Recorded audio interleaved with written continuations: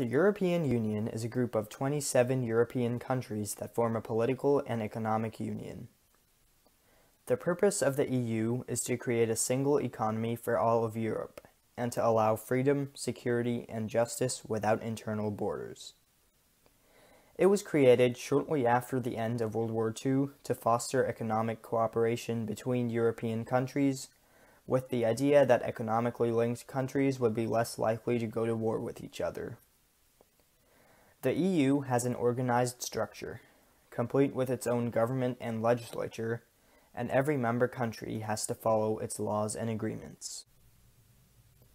At the top of the EU's politics is the European Council, the highest strategic level body that sets the priorities and general direction of the Union.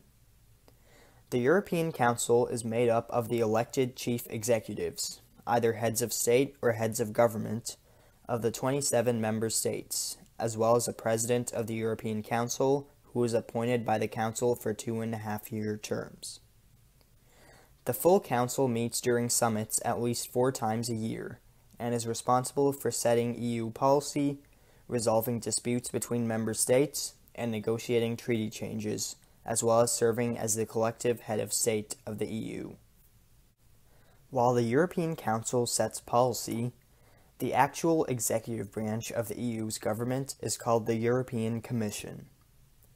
It is responsible for the day to day running of the European Union and has 27 commissioners, one from each member country, that are responsible for different policy areas. One of these 27 is the President of the European Commission, who is appointed by the European Council and is the head of the EU's executive branch.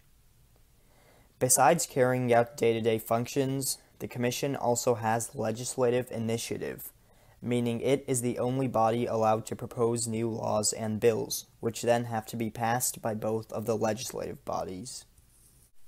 Moving on, one of the two legislative bodies of the EU is the Council of the European Union, which is separate from the European Council. It consists of a government minister from each EU member state, and has different configurations for different policy areas.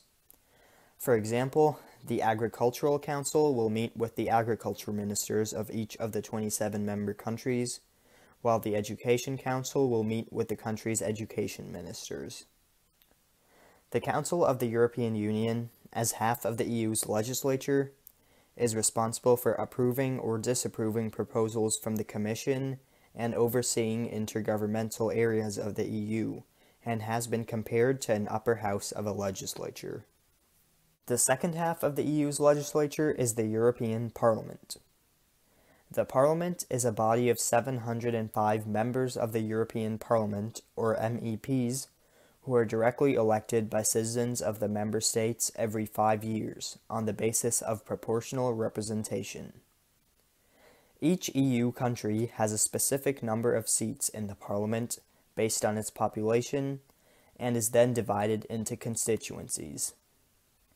The Parliament's job is much the same as the Council's to pass laws and budget proposals, and it has the authority to pass a motion of censure on the European Commission.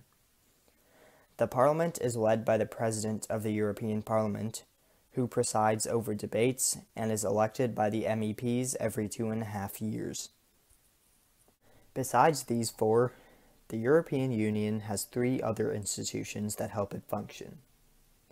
These include the Court of Justice of the EU, which is its judicial branch based in Luxembourg, the European Central Bank, which is the central bank for all countries who use the euro, and the European Court of Auditors, which is responsible for externally overseeing the implementation of the EU budget.